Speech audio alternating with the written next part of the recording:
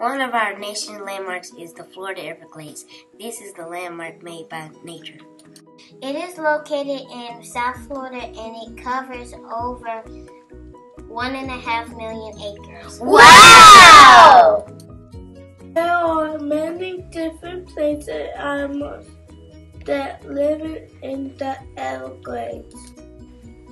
There are palm trees, mangroves, cypress, and live oak and pine. There are many endangered species like the manatee. It's the only place where crocodiles and alligators live together. There is a 65 foot tower called the Shark Tower. It is where people get a good view of the Everglades. 1992, Hurricane Andrew damaged thousands of acres of the park. But don't worry, it's still a beautiful place to visit. This park shows us the beauty of nature. There is so much wildlife, we need to keep it safe. We should respect nature. Park shows us that nature is a treasure. One national landmark in Florida is the Kennedy Space Center. The Kennedy Space Center is located in Cape Canaveral, Florida. President Dwight D. Eisenhower started a NASA program on July 29, 1958. In 1961, NASA asked for land to build a support center.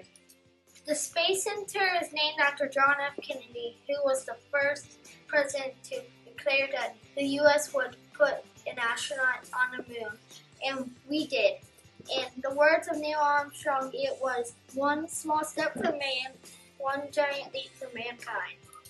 The center opened up in 1962 and started as a drive-through. There were so many visitors that it grew and grew, and they added an astronauts museum and Hall of Fame. In the museum, you can see all kinds of neat things, like space shuttles, and you can even meet astronauts. The Kennedy Space Center is a Gateway to space!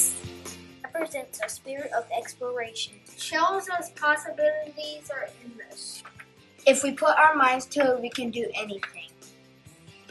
We should never give up. And always aim for the stars.